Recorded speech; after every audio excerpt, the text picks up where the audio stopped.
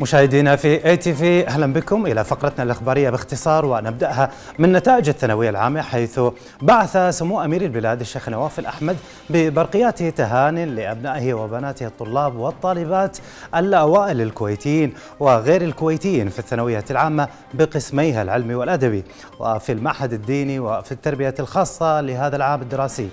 متمنيا سموه لهم كل التوفيق والنجاح لإكمال مسيرتهم التعليمية وتحقيق تطلعاتهم الطموحة. كما بعث سمو ولي العهد الشيخ مشعل الأحمد ببرقيات مماثلة. هذا وهنأ سمو الأمير وسمو ولي العهد وزير التربية وقيادات الوزارة بنجاح اختبارات الثانوية العامة. تحت رعاية سمو أمير البلاد الشيخ نواف الأحمد وبحضور ممثل سمو الأمير سمو ولي العهد الشيخ مشعل الأحمد أقيم صباح اليوم حفل تكريم الفائزين بجائزة سمو الشيخ سالم العلي الصباح للمعلوماتية والاحتفالية الخاصة بمرور عشرين عاما على التأسيس وشدد سمو ولي العهد على أن قيادة الكويت تعي أهمية الابتكارات العلمية والتقنية وآفاق الرقمنة الرحبة وغير المحدودة. وأثر المشاريع في هذا المجال الحيوي ودور التقنيات في جعل العالم أكثر ازدهارا وأمنا لا سيما مع زيادة أهمية الأمن السبراني وسلامة تدفق المعلومات الرقمية السحابية وغيرها. إلى الشأن البرلماني إذ أعلن رئيس لجنة الميزانيات والحساب الختامي النائب عدنان عبد الصمد أن اللجنة أقرت بالأغلبية الميزانية العامة للدولة للسنة المالية 2022-2023 وأحالتها إلى رئاسة مجلس الأمة بواقع ثلاثة أصوات مقابل رفض ثلاثة أعضاء مع ترجيح تصويت رئيس اللجنة. أهم ملامح الميزانية العامة للدولة بالنسبة للإيرادات. الإيرادات هالسنة المقدرة طبعا بلغت 23 وأربعة من عشرة مليار دينار بزيادة 114% عن الميزانية السابقة.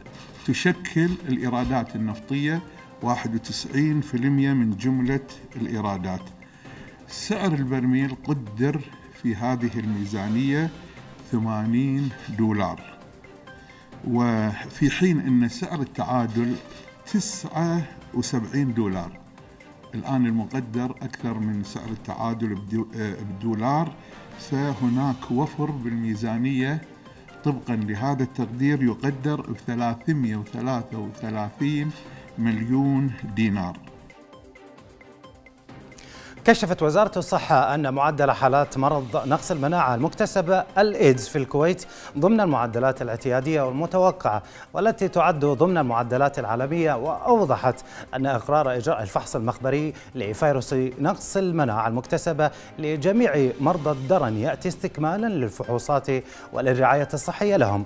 وكإجراء وقائي بما يتوافق مع التوصيات العالمية وللحفاظ على الصحة العامة.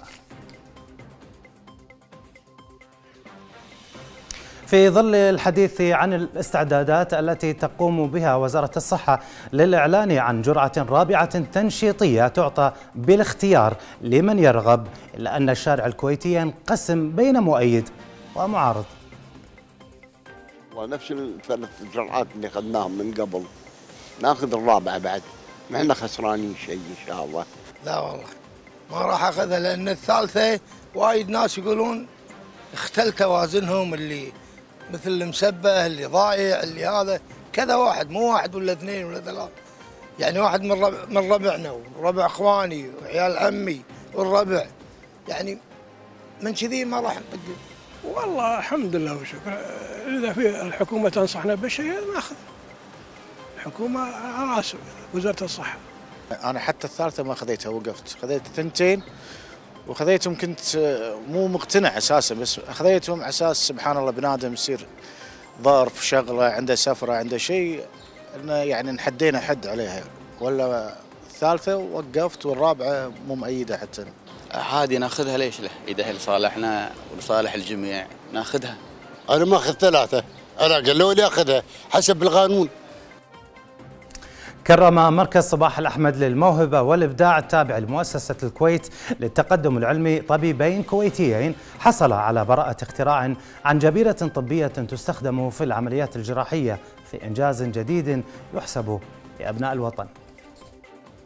اليوم جزاهم الله خير المركز صباح الأحمد للموهبة والإبداع اكرمونا أنا وزميلي الدكتور محمد كمال أستاذ في جامعة كلية الطب جامعة الكويت بخصوص براءة اختراع عن طريق جبيرة أنفية توضع بالأنف لمرضانا بعد عمليات الأنف مثل عمليات التجميل، عمليات تعديل الحاجز الانفي أو الجيوب الأنفية، ميزة الجبيرة هذه إنه ما تمنع التنفس، ما تسبب أي آلام وهي توضع بطريقة بحيث ان تخلي المريض أيضا أثناء العملية وبعد العملية يقدر يتنفس على راحته. جبيرة جراحية تستخدم في عمليات الأنف لتثبيت الحجاب الحاجز وتسهيل عملية التئام الجروح ما بعد العمليات الجراحية هذه. طبعا العمليات هذه فيها صعوبة من بعد العملية أن يكون عندنا فترة عدم قدرة المريض على التنفس بشكل جيد وصعوبة في مرحلة النقاهة وإحنا الجهاز هذا يحاول أن يساعد المرضى بأن يستفيدون من تثبيت الحجاب الحاجز بطريقة معينة ويحصلون على نتيجة أفضل بعد العمليات الجراحية. مشاهدينا انتهى الموجز باختصار. تفاصيل أكثر في نشرتنا عند رأس الساعة التاسعة. في أمان الله.